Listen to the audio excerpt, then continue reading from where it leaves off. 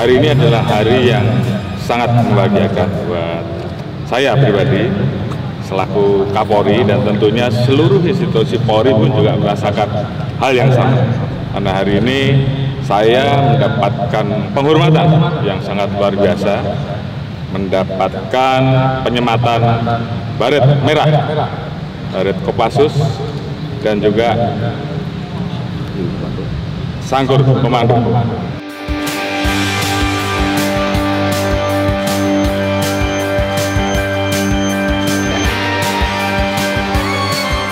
Kapolri Jenderal Listio Sigit Prabowo dan Panglima TNI Laksamana Yudo Margono disematkan baret merah dan brevet komando dari pasukan elit Kopassus.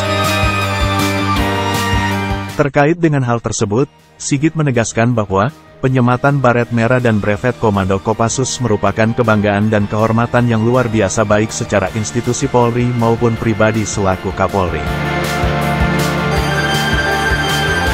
Ini adalah penghargaan yang sangat luar biasa, karena kita tahu, Kopassus adalah pasukan elit, pasukan baret merah yang disegani, kata Sigit di Mako Kopassus Cijantung, Jakarta Timur, Selasa, tanggal 27 Desember tahun 2022. Oleh karena itu, tentunya apresiasi dan kebanggaan bagi saya selaku Kapolri serta apresiasi dan kebanggaan bagi seluruh anggota Polri, tegasnya. Satu,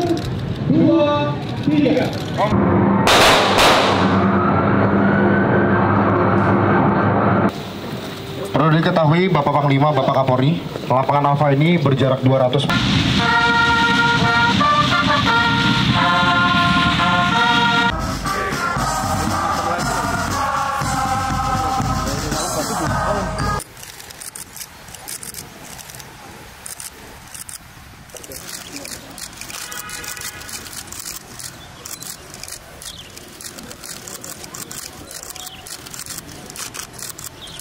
Hari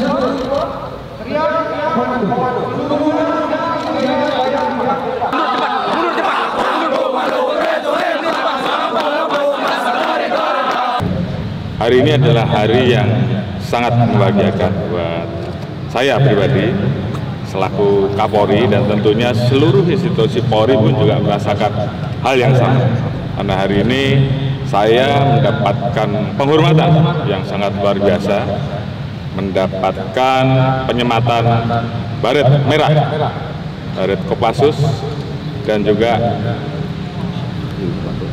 sangkur komando. Ini adalah penghargaan yang sangat luar biasa. Karena kita tahu Kopassus adalah pasukan elit.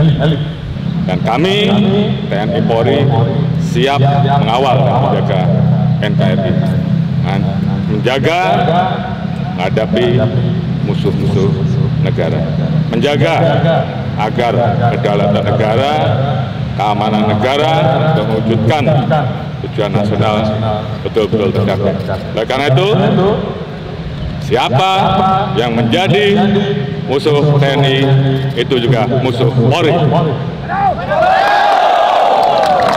Siapa yang menjadi sahabat TNI itu adalah sahabat Polri.